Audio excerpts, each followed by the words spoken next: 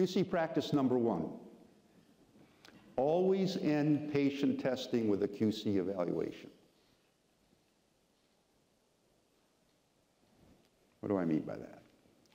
Well, in the era of batch testing, we would test a, a, a, number of patient specimens and QC samples in a batch. We would use the results of the QC examinations to make an assessment about the acceptance of the batch.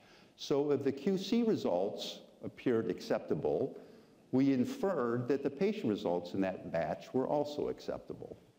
Conversely, if the QC results were unacceptable, we assume that whatever adversely affected those QC results also adversely affected the patient samples in the batch.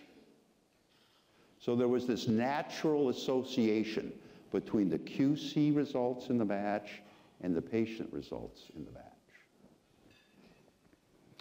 Now in the modern continuous flow type testing paradigm, we really lose this natural association between the QC results and the patient results.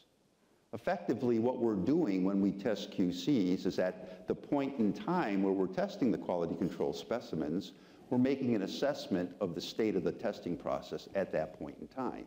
Is the process working as intended or not?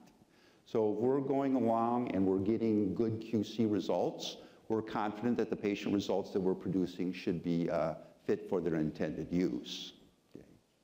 But now in the cartoon shown here at the bottom, let's say I'm running QCs, I run patient samples, I run QCs, I run patient samples, and now I get to this stopping point. The stopping point might be the end of the second shift. Maybe I only run QCs two shifts a day. I've done my QCs, so a first shift, my QCs, my second shift, and now I'm finishing up for the day.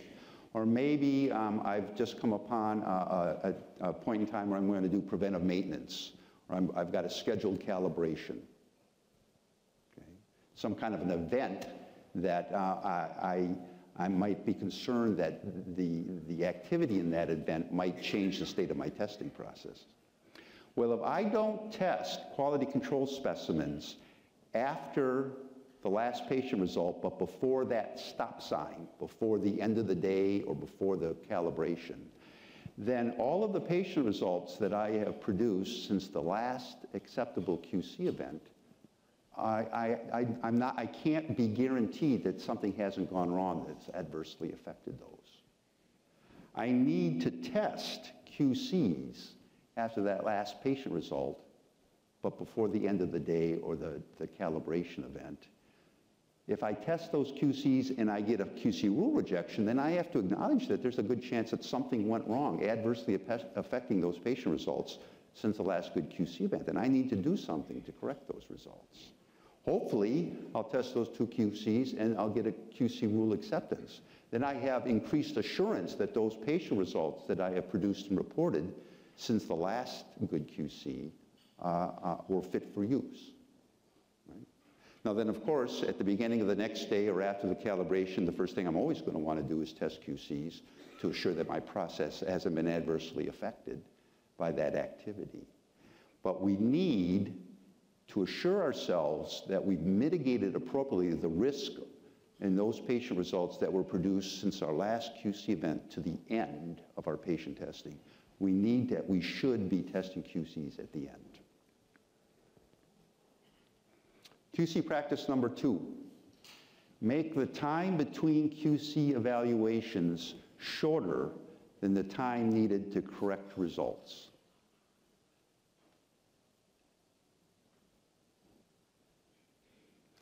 Both CLIA and ISO 15189 state that when QC detects an out of control condition, laboratories should inspect and correct adversely affected patient results already released. So we're testing patient samples, testing QCs. At the point where we get a QC rule rejection, all of the patient samples that have been produced and reported since the last acceptable QC event are called into question. We have to acknowledge that there's a good chance that we have produced and reported results that fail to meet the quality requirement. If we are unable to identify those results uh, repeat them and correct them in a timely enough fashion to prevent an incorrect action taking place because of the original incorrect result, then we have failed to mitigate the risk of that hazardous situation. It doesn't matter how good our QC rule is that detected that out of control condition. It could have 100% probability of detection. But with 100% probability of detection, if we are unable to go back and recover, correct the damage that was done between the time that that out of control condition occurred until we detected it, then we have failed to mitigate patient risk.